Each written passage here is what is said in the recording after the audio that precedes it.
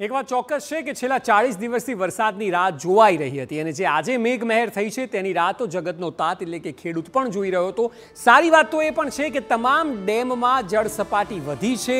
એ આગામી સમયમાં ખેતીલાયક પાણી હોય કે પછી પીવાલાયક પાણી તમામમાં ગુજરાતની જનતાને ફાયદો કરી શકે તેમ છે. અલગ અલગ ડેમની વાત કરીશું. સૌથી પહેલાં વાત કરીએ, ગ્રાફિકલી આપને બતાવીએ, નર્મદા ડેમની જે સ્થિતિ છે. તે ડેમની સ્થિતિ અને તેના આંકડા શું છે તેની અમે આપને ગ્રાફિકલી સમજાવવાનો પ્રયત્ન કરીશું. ડેમની એક વાત સમજો, ભયજનક સપાટી જે છે તે એકસો આડત્રીસ પોઈન્ટ અડસઠ મીટરની છે.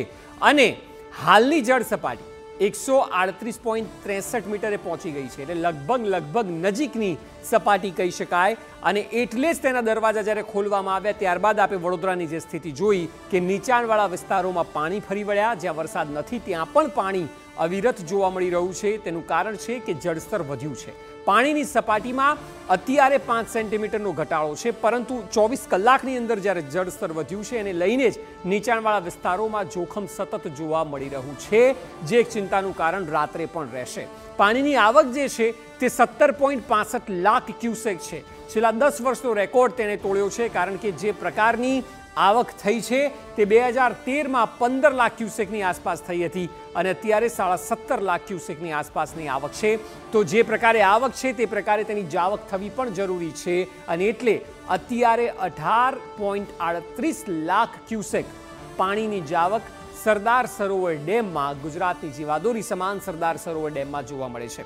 ડેમના ત્રેવીસ દરવાજા આજે ખોલાયા, તે સાત પોઈન્ટ નેવું મીટર સુધી ખોલાયા અને જ્યારે દરવાજા ખોલાયા ત્યારે નર્મદાએ રેવાએ રૌદ્ર સ્વરૂપ ધારણ કર્યું હોય તે પ્રકારની સ્થિતિ સર્જાઈ અને એટલે કાંઠા વિસ્તારના જેટલા પણ વિસ્તારો આવે છે, વડોદરા જેવા શહેર આવે છે, તમામ જગ્યાએ આપ જોશો તો પુષ્કળ પાણી ભરાઈ ગયા છે. જે સ્થિતિ યમુના નદીને કારણે દિલ્હીની થઈ હતી, તે સ્થિતિ નર્મદાને કારણે તમામ કાંઠા વિસ્તારમાં જે જે શહેરો અને વિસ્તારો છે તેની થઈ છે. તો વળી ઉકાઈ ડેમની વાત કરીએ. મહારાષ્ટ્રમાં ભારે વરસાદથી ઉકાઈ ડેમનું જળસ્તર વધ્યું છે. કારણ કે ઉપરવાસમાંથી જ્યારે પાણી છોડાયું, ત્યારે ઉકાઈ ડેમમાં પાણી આવ્યું અને પાણીનું સ્તર વધ્યું અને એટલે જોખમ અહીં પણ જોવા મળી રહ્યું છે. કારણ કે ઉકાઈ ડેમમાં જે પાણીની સ્થિતિ છે, તે પાણીની સ્થિતિ અત્યારે ભયજનક સપાટીની નજીક પહોંચી ગઈ છે. આંકડાકીય માહિતી પણ આપને આપીશું, પરંતુ હાલ ભયજનક સપાટીની નજીક ઉકાઈ ડેમ પણ જોવા મળી રહ્યો છે અને રાતના કલાકો એ ખૂબ જ જોખમી સાબિત થતા હોય છે અને એટલે તંત્ર પ્રશાસને એલર્ટ રહેવાની જરૂર છે. ઉકાઈ ડેમમાં પાણીની સપાટી ત્રણસો એકતાલીસ પોઈન્ટ અઢાર ફૂટે પહોંચી ગઈ છે. એટલે આપ જોશો તો આ સપાટી પણ સામાન્ય દિવસો સિઝનો કરતાં પણ વધારે છે. હવે ત્રણસો એકતાલીસ પોઈન્ટ અઢાર ફૂટ પર પાણીની સપાટી પહોંચી ગઈ છે અને એને લીધે ડેમમાં ત્રણ લાખ પંચ્યાસી હજાર ક્યુસેક પાણીની આવક થઈ છે. સતત ઉપરવાસમાં જે વરસાદ છે, મહારાષ્ટ્રમાંથી પાણી છોડાયું છે અને એટલે ઉકાઈ ડેમમાં ત્રણ લાખ પંચ્યાસી હજાર ક્યુસેક પાણીની આવક થઈ છે. તો વળી તાપી નદીમાં એક લાખ સત્તાણું હજાર ક્યુસેક પાણી છોડાયું છે. જેમ જેમ આવતું જઈ રહ્યું છે, તેમનું વહન થવું પણ જરૂરી છે અને એટલા માટે જ્યારે પાણી છોડાયું, ત્યારે તાપી નદીમાં એક લાખ સત્તાણું હજાર ક્યુસેક જેટલું પાણી છોડવામાં આવ્યું. ઉકાઈ ડેમમાં બાવીસમાંથી પંદર દરવાજા સાત ફૂટ સુધી ખોલી દેવાયા છે. સતત જળસ્તરનો વધારો છે.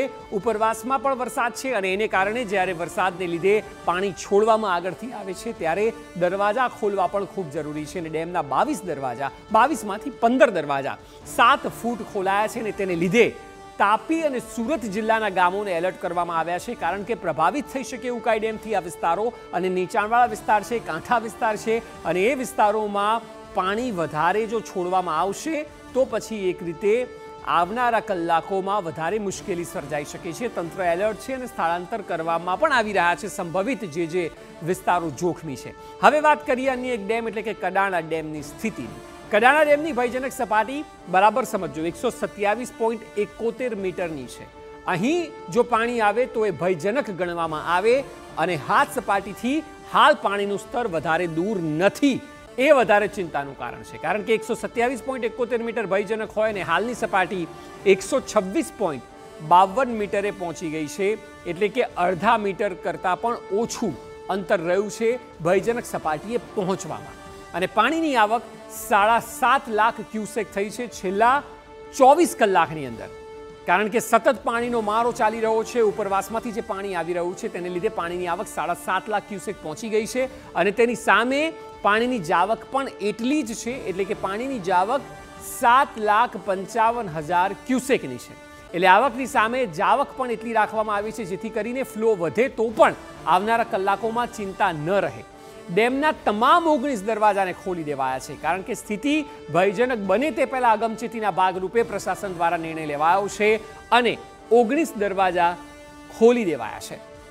મહીસાગર નદી કાંઠાના પાંચ જિલ્લામાં એલર્ટ પણ કરવામાં આવ્યું છે. કારણ કે જ્યારે ડેમમાં સપાટી વધતી હોય ત્યારે તેની આસપાસના જે ગામ છે, જે કાંઠા વિસ્તારો છે, તેમાં પણ જોખમ વધતું હોય છે અને જોખમ ન વધે તેના ભાગરૂપે તમામને એલર્ટ કરાયા છે. જોકે વરસાદને લઈને આગળ પણ તમામ અપડેટ આપને આપીશું, આપને બતાવીશું આપણા જિલ્લામાં શું સ્થિતિ છે અને હા, આગામી ચાર દિવસ કયા કયા જિલ્લાઓ માટે જોખમ સર્જાઈ શકે છે એ અહેવાલ જોવાનું ન ચૂકતા.